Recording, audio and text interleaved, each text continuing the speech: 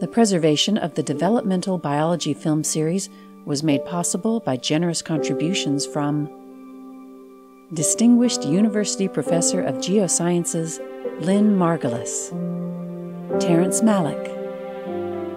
Chelsea Green Publishing, The Politics and Practice of Sustainable Living, the Hardy Lane Foundation,